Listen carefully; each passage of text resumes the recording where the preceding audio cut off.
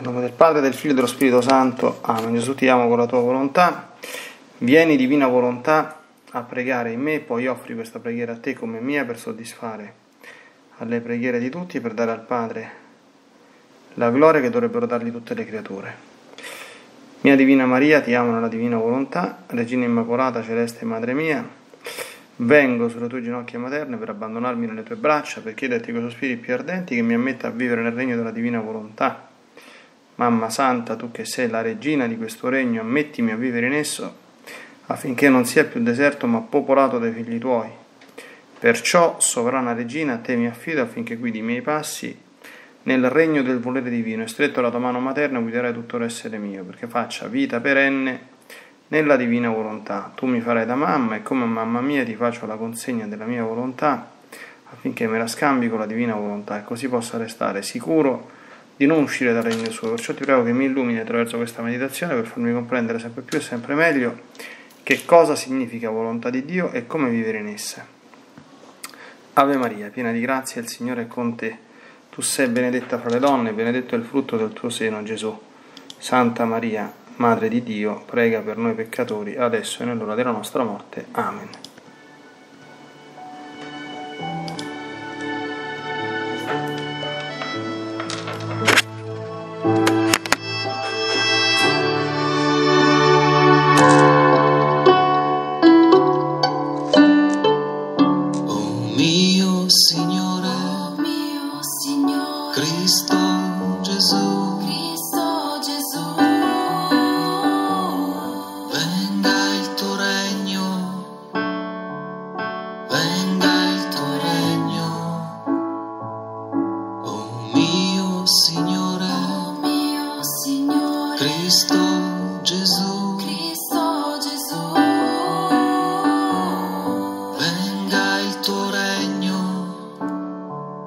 Dal Libro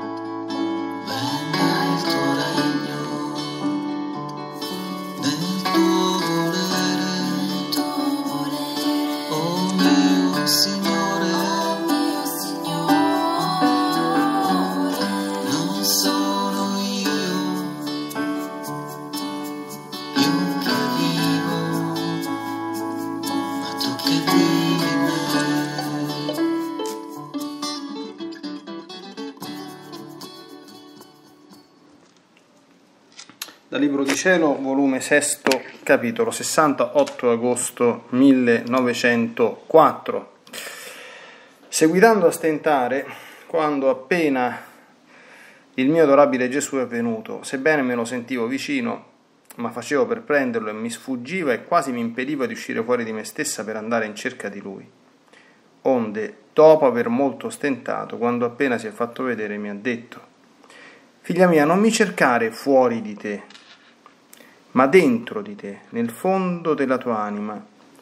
Perché se esci fuori e non mi trovi, vi soffrirei assai e non potrai resistere. Se mi puoi trovare con più facilità, perché vuoi stentare? Ed io, credo che non trovandovi subito in me, posso trovarvi fuori. È l'amore che a ciò mi spinge. E lui, ah, è l'amore che a ciò ti spinge? Tutto tutto dovrebbe essere racchiuso in una sola parola, amore. E chi non racchiude tutto in questo, si può dire che dell'amarmi l'anima non ne conosce neppure un H. Ed a misura che l'anima mi ami, così le ingrandisco il dono del patire. Ed io, interrompendo il suo dire tutta stupida ed afflitto, ho detto, vita mia è tutto il mio bene. Dunque io poco o niente soffro, quindi poco o niente ti amo. Che spavento il solo pensare che non ti amo. L'anima mia ne sente un vivo dispiacere quasi quasi mi sento da te offesa. E lui ha soggiunta. Io non intendo dispiacerti, il tuo dispiacere premerebbe più sul cuore mio che sul tuo. E poi non devi guardare le sole sofferenze corporali, ma anche le spirituali, la volontà vera che è del patire. Perché volere l'anima veramente patire innanzi a me è come se l'anima l'avesse patito. Perciò chetati e non ti turbare e lasciami continuare il mio dire. Non hai visto mai tu due intimi amici? O come cercano di imitarsi l'un l'altro e di ritrarre se stessi, in se stesso il proprio amico. Quindi ritrattano la voce, i modi, i passi, le opere, le vesti. Qui con ritrarre si intende ritraggono. Quindi ritraggono la voce, i modi, i passi, le opere, le vesti, sicché l'amico può dire colui che mi ama è un altro me stesso, ed essendo me stesso non posso fare a meno d'amarlo. Cosa faccio io per l'anima che racchiude tutta sé come dentro un breve come dentro ad un breve giro d'amore? Tutto me mi sento come ritratto in essa e trovando me stesso di tutto cuore l'amo non posso fare a meno di starmi con essa, perché se lascio lei, lascerei me stesso. Mentre ciò diceva è scomparso.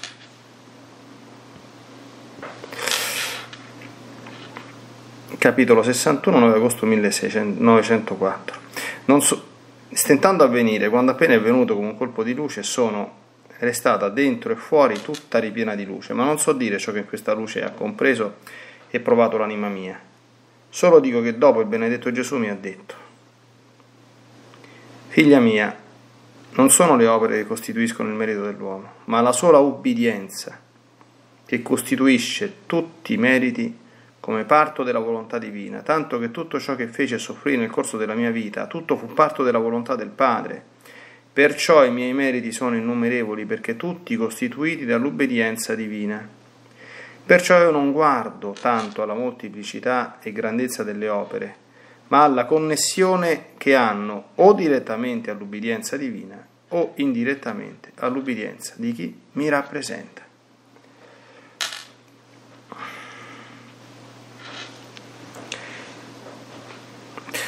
Bene, voglio il Signore aiutarci ci a penetrare bene la sapienza infinita ecco, contenuta in questi due splendidi capitoli. Il primo è il capitolo dell'amore, è il capitolo dell'amicizia intima, potremmo così dire. Amicizia intima che nei rapporti con Gesù e con Maria fa parte integrante della vita, della dinamica di, di amore.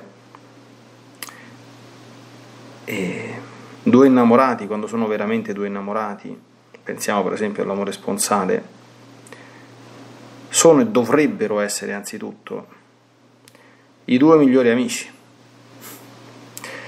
E anche nelle amicizie umane, come Gesù spiega, quando l'amicizia è grande, c'è come una gara di emulazione tra gli amici. Si dice anche il proverbio similes cum similibus e nella Sacra Scrittura, nei libri sapienziali, eh, dove si parla, sono parole bellissime sull'amicizia, cioè, si, si legge e tale è l'amico, così sarà il suo amico, una cosa del genere, insomma, no? Come l'amico, così, come è il tuo amico, così sarai tu. Mm, non ricordo né purtroppo in questo momento il libro sapienziale in cui c'è questa citazione è facilmente rinvenibile con gli strumenti multimediali nella frase precisa, ma questo era. il senso. Come è l'amico, così sarai tu. Allora, qui Gesù dice una cosa molto bella, da cui possiamo cominciare subito a meditare anche per noi. Non cercarmi tanto fuori di te, ma dentro di te. È chiaro che Luisa cercava Gesù anche fuori di sé, perché eh, Luisa lo vedeva Gesù, quindi lo vedeva con una visione molto molto concreta, spesso e volentieri, d'accordo? Quindi eh, si intratteneva più rapporti intimi e personali con lui de visu, e cose che evidentemente gli davano eh, un diletto infinito, no? Ecco, Gesù però dice, guarda, dentro mi trovi sempre, ecco, anche se non mi trovi fuori. E lì eh, eh, lui dà una grande risposta, no? Credo che non trovandovi subito in me posso trovarvi fuori, è l'amore che ciò mi spinge, è l'amore che ciò mi spinge. E da que- perché l'amore che, cosa, l'amore che cosa esige? L'amore esige di stare con l'amato. Come faccio a capire se amo Gesù o se amo la Madonna? Ah, una cosa facilissima. Tan- li amo tanto quanto cerco di stare con loro. Cioè, due persone che si amano vogliono stare insieme non è che ci vuole tanto a... anzi non si staccherebbero mai. E... Allora, amo Gesù? Quanto ci sto con Gesù? Quanto volentieri vado a messa, quanto volentieri faccio la comunione, quanto volentieri sto facendo l'adorazione, quanto volentieri mi isolo da tutto e da tutti e mi intrattengo in pie conversazioni con Lui, in santi affetti con Lui, in tutto quello che poi ogni singola anima conosce. Quanto? Se non c'è neanche questa esigenza, l'amore è quasi inesistente. Attenzione, è evidente, ci sono dei periodi. Le ha passati anche lui, se Gesù non ammonisce anche lei, dove non, non, non, non, avvertendo il fervore, insomma, e, e, e, niente, no? Certamente tante cose diventano un pochino aride, un pochino penose, no? Però come tante volte detto questi devono essere piccoli periodi, non può essere che sia sempre così. E, e in quei periodi l'amore diventa rafforzato, diciamo, come atto di volontà ed io farò le stesse cose anche se non ci provo nessun gusto, per dimostrare l'amore solido, insomma, Gesù, no? Però questo è... E poi non soltanto i momenti dedicati all'amore, no? cioè il, dire, il rapporto con Gesù e con Maria veramente se uno entra nel mondo della, della divina volontà, eh, due innamorati hanno, come dire, dei momenti dove stanno da soli, no? Ecco.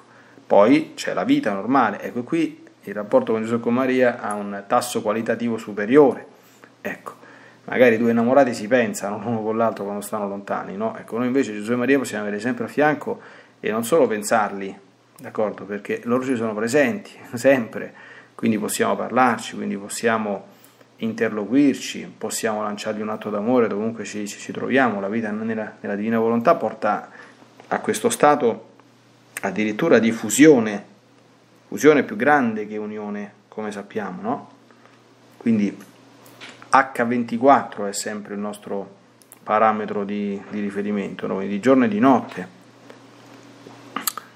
E Gesù dice, attenzione, tutto dovrebbe essere racchiuso in una sola parola amore. Chi non racchiude tutto in questo si può dire che dell'amarmi l'anima non ne conosce neppure un H.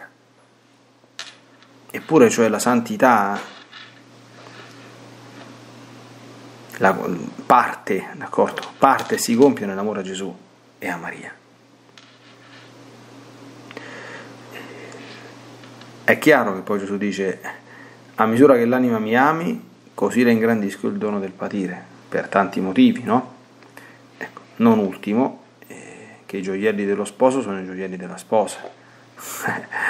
ecco, quindi attenzione, eh, qui Gesù parla ad una candidata, mm, non solo candidata, ma poi la candidatura ha avuto successo ad essere la primogenita del regno della divina volontà.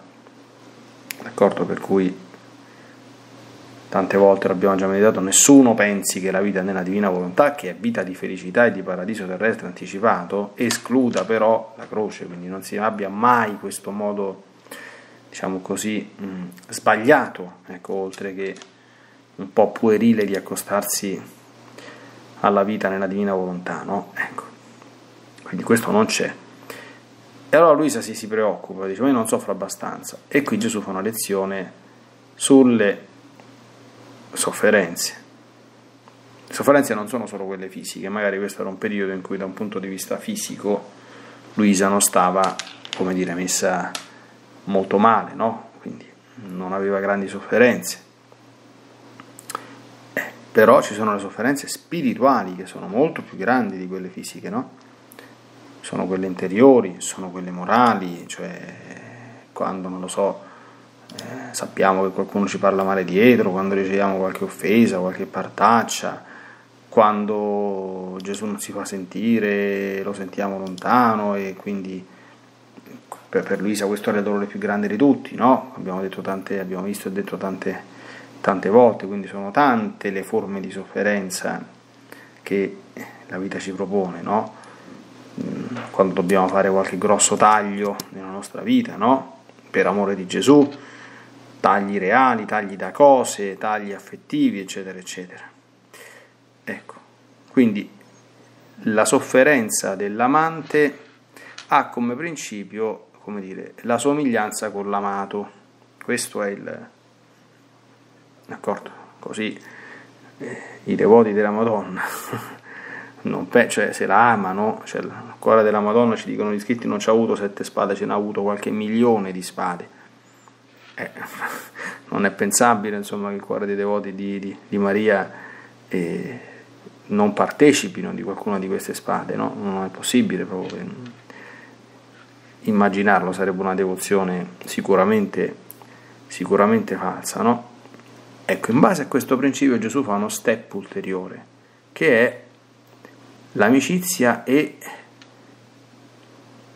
l'imitazione dell'uno e dell'altro, per ritrarre in se stessi il proprio amico. Questo è un punto fondamentalissimo della vita della, della divina volontà. Allora, questo, cioè, attenzione, ritrattano la voce, adesso farò degli esempi, perché li faccio, i modi, i passi, le opere, le vesti.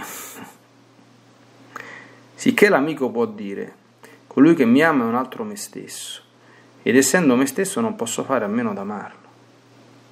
Ah, ci picchia. La voce, per esempio. Come era la voce di Gesù e della Madonna? La voce di Gesù e della Madonna, senza nessunissimo dubbio, era una carezza di cielo, solo a sentirla, che ti si poggiava sull'anima. Quindi come noi parliamo, proprio la, la modalità del nostro linguaggio, la dolcezza del nostro linguaggio, la pacatezza, cioè può un amante di Gesù e di Maria alzare la voce per qualunque motivo? No, se vuole imitare, no, no. Può esprimersi con tono sdegnato, anche scocciato, sgarbato, aggressivo? No.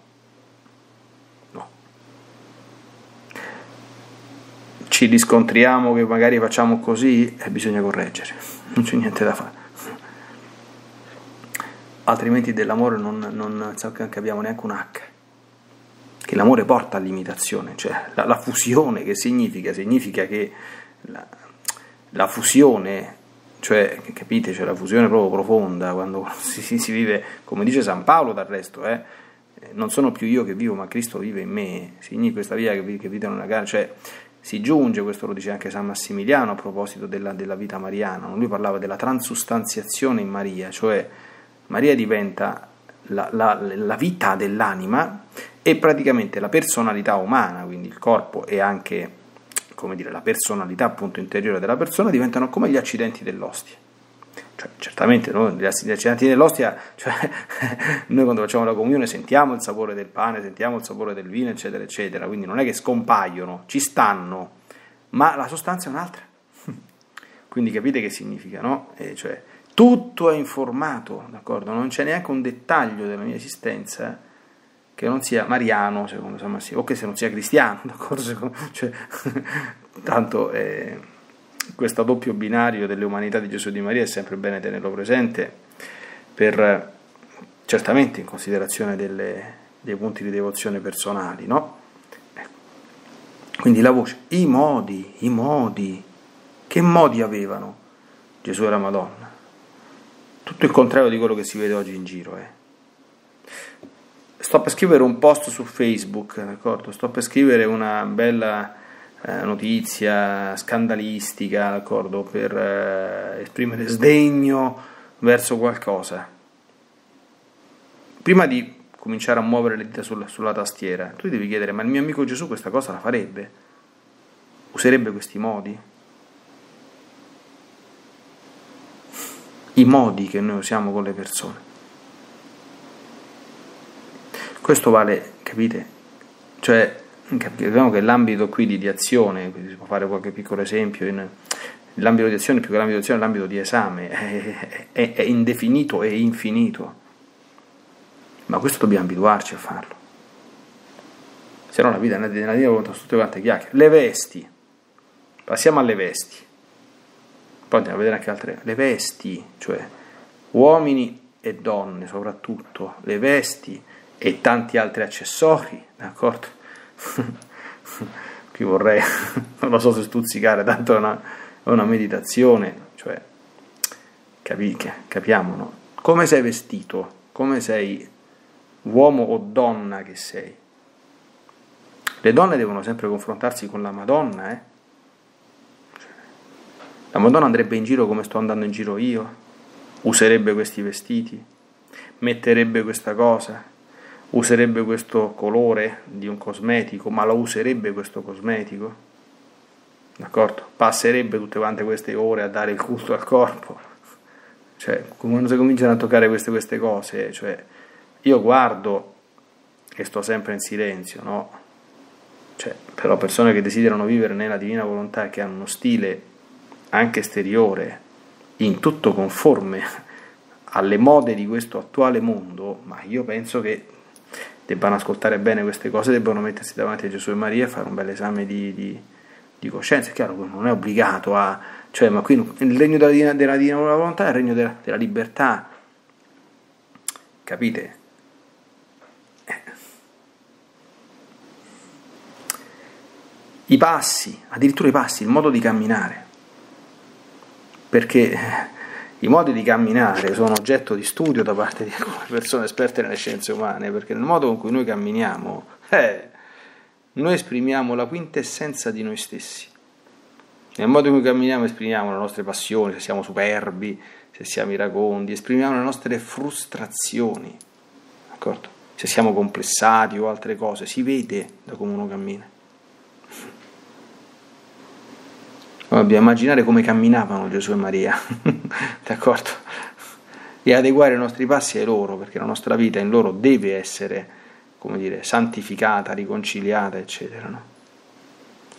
Le opere, le opere, d'accordo? Se uno non vuole mai sbagliare, questo è un principio, di, prima di fare una cosa, guarda Gesù, guarda Maria, chiediti se lui la farebbe e cerca di farlo come la farebbero loro.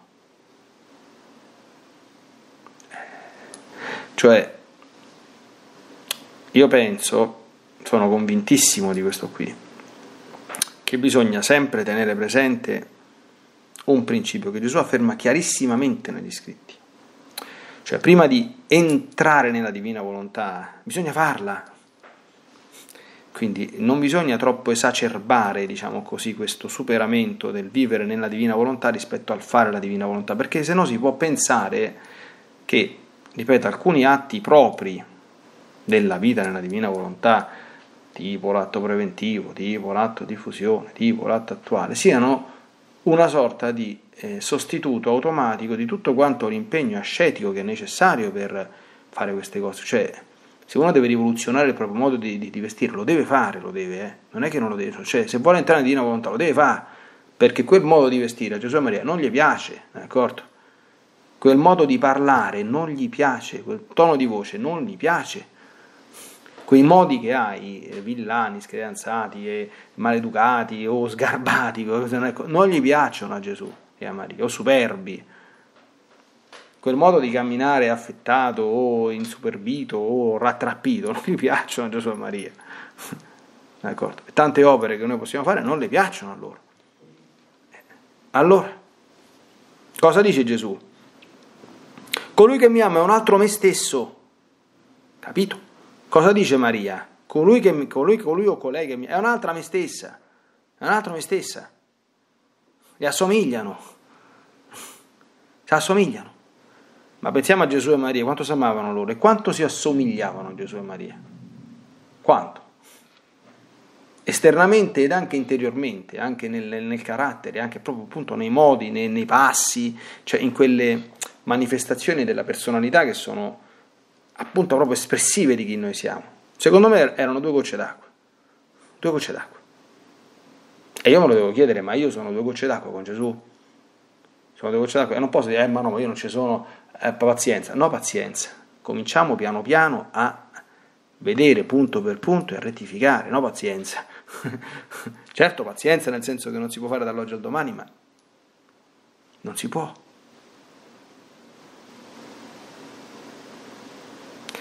Allora, cosa dice Gesù? Fa, così faccio io per l'anima che racchiude tutta sé come dentro un breve giro d'amore. Tutto me mi sento come ritratto in se stesso, trovando me stesso. Di tutto cuore la amo e non posso fare a meno di stare con lei, perché se la lascio lascerei me stesso. Allora, cioè, questo cosa sta dicendo Gesù indirettamente? Che quanto più tu gli assomigli, tanto più lui starà con te e ti farà anche avvertire la sua presenza. Perché? Perché ritrova se stesso e ritrova la divina volontà. La divina volontà è queste cose, eh? Quindi non pensiamo che non ci siano. Allora, chiudiamo il secondo paragrafetto. Attenzione, Gesù parla, ub, ubbidienza. Cioè, allora, le cose su cui abbiamo appena... Ubbidienza cosa? Si spiega, no? L'ubbidienza diretta è l'ubbidienza divina, cioè l'ubbidienza a quello che Dio vuole. L'ubbidienza indiretta è l'ubbidienza a chi mi rappresenta. Per chi ha, come dire, un riferimento eh, o canonico obbligatorio, e questo ce l'abbiamo tutti noi cattolici, eh? Chi più chi meno, io ho il vescovo, il papa, il magistero della Chiesa, d'accordo? E, e poi ho il padre spirituale, se ce l'ho, Ecco, un fedele laico c'ha il parroco, c'ha il vescovo, c'ha il cioè non vuole più rispetto a me che sono parroco, e poi ce l'ha c'ha il padre spirituale. Ecco, ma l'obbedienza è innanzitutto obbedienza divina, d'accordo? Cioè, le cose su cui abbiamo appena meditato, dice, ma che Dio vuole che mi vesti in questo modo piuttosto che in un altro? Certo che lo vuole, certo. E metterli davanti al Signore a pensare, certo che lo vuole. Ma che Dio vuole che rinunci a quest'atto di vanità? Certo che lo vuole. Ma che Dio vuole che, sm- che, che, che, smetto di urlare? Certo che lo vuole. Che smetto di parlare in maniera sboccacciata? Ma certo che lo vuole. E se non lo fai tu stai disubbidendo a Dio. Capito? Non, cioè, ma questo che cos'è? Peccato mortale o peccato veniale? È di comando o di consiglio? Dice, ma cioè, questi discorsi non si possono fare in questo orizzonte, capite? Cioè vivere nella divina volontà, come ho sempre detto, presuppone a monte già un'opzione già fatta, che è vivere la santità, cioè il, dire, la, la, sequenza è io voglio diventare santo, questa è la prima grande scelta, santo, capporto, capito? A un santo non gli importa niente se una cosa è peccato mortale, veniale, perfezione, imperfezione. Eh, Don Dolindo raccontava in una catechesi che le donne andavano a chiedere: Ma se mi metto il rossetto è peccato o non è peccato? e lui rispondeva: Bene, quanto curi la tua anima? Curi la tua anima tanto quanto le tue labbra? Arrivaci da sola, non mi fa queste domande, d'accordo? No? Quindi questi sono, cioè, mh, mm, l'opzione per la santità. Poi, questa è una mia opinione personale, solo, cioè, che cos'è la consacrazione monfortana? Molta gente vuole fare la consacrazione monfortana. La consacrazione monfortana è una via privilegiata, tutta divina e mariana, per diventare santi il più presto possibile, con l'aiuto massimo che la Madonna possa dare. E questo, come dire, l'ultimo sbocco è la vita nella divina volontà. Cioè, I passaggi sono santità, perfetta devozione mariana, che è l'emblema della santità, scelta di vivere nella divina volontà. Ma è chiaro che la, l'opzione per la santità mi obbliga che se io conosco che una cosa è gradita a Dio e un'altra gli è sgradita, ma io quelle sgradite non le faccio volontariamente. L'unica cosa devo essere consapevole, e devo essere sempre consapevole, ecco perché non si finisce mai di camminare, che sicuramente come sto io oggi, molte cose che penso, che dico, che faccio, come mi comporto, come vesto, come i modi che ho, le opere che faccio, non gli piacciono. E quindi devo stare sempre con le orecchie aperte, serenamente aperte. Perché oltre che con l'ascolto, certamente l'ascolto è una cosa, sempre una cosa, la fides ex audito, quindi è molto importante ascoltare eh, omelie, meditazioni, catechesi fatte da, da, da, da persone insomma, che riconosciamo, che abbiano la, l'autorità, la qualifica per aiutarci, e... però è anche mettersi, è molto importante imparare a mettersi in ascolto personale con Gesù e a portare la nostra vita, cioè a fare bene l'esame di coscienza ha detto recentemente, per farlo bene, d'accordo, non andare a dire quattro cose a pappagallo, d'accordo, per la vita nella divina volontà, cioè ci sono molti ambiti di azione. Abbiamo visto nelle meditazioni passate gli affetti, a chi sono attaccato, a chi non sono attaccato, se ho qualche idolo che lo devo togliere immediatamente, quindi tutte queste cose. Perché il merito delle cose che facciamo, dice Gesù, è solo l'ubbidienza a Dio. E quindi chiedermi nelle singole cose, è volontà di Dio questo o no? Ecco, se uno impara ad ascoltare bene il proprio cuore, ma state tranquillissimi che il Signore ce lo farà ben capire. Solo che noi da queste orecchie non ci vogliamo sentire, non ci mettiamo in ascolto perché non vogliamo cambiare. E non voler cambiare nasconde un fatto che ce lo dobbiamo dire, che noi vogliamo fare la volontà umana nostra, non vogliamo fare quella di Dio. Diciamocelo chiaramente francamente. Ecco, quindi certamente ci può essere un desiderio cosciente, un desiderio licito, si dice in modo morale, ah voglio fare la volontà di Dio, però in fondo tutte quante mio, la mia umanità, le mie cose, dice no, no, no, no, io questa cosa non ci voglio rinunciare, io quest'altra cosa non la voglio cambiare, io voglio, cioè, io voglio, eh, io voglio, il Signore te lo rispetta, d'accordo? Non ti, non ti prenda a calci. Questo è il regno della libertà assoluta, ma il tuo io voglio non è quello che Dio vuole e se ancora tanto forte, eh, sappi che vuoi vivere nella divina volontà, bene, comincia a metterti nella, nell'ottica che tante cose le dovrai correggere e trasformare.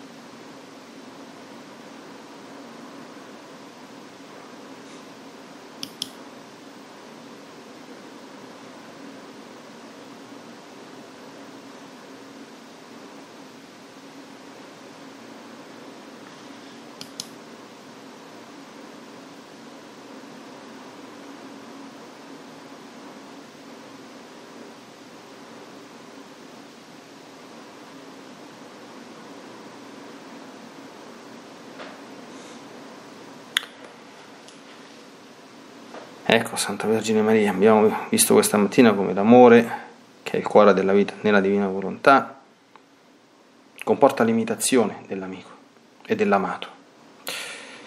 E non siete certamente voi a dover imitare noi nell'amore divino. ecco, l'imitazione è un po' a senso unico, grazie a Dio. E poi diventa a doppio senso, ecco, quando, cioè per certi aspetti non nel senso de, dell'imitazione ma nel senso dell'attrazione, nel senso che quanto più impariamo ad assomigliarvi e quanto più eh, si realizza una sorta di attrazione ecco, dell'anima che vi, assomiglia, che vi, vi tira insomma in qualche modo a sé come ci spiegava Gesù. Ecco, dacci una mano perché quella parola abbastanza forte, insomma, che Gesù ha detto, guarda che chi non entra in questo orizzonte dell'amarmi non ha capito nemmeno un H, ecco, non sia, non sia per noi, no? Ecco, ma possiamo fare queste scelte di amore autentico e, e che comporti tutta quanta la vita in questo amore autentico verso di te e verso Gesù. Nella divina volontà, nel nome del Padre, del Figlio e dello Spirito Santo. Amen. Ti benedico per aiutarti, ti benedico per difenderti, ti benedico per perdonarti, ti benedico per liberarti da ogni male, ti benedico per consolarti, ti benedico per farti santo, ti benedico dunque nella divina volontà, nel nome del Padre, del Figlio e dello Spirito Santo. Amen. Fiat Ave Maria.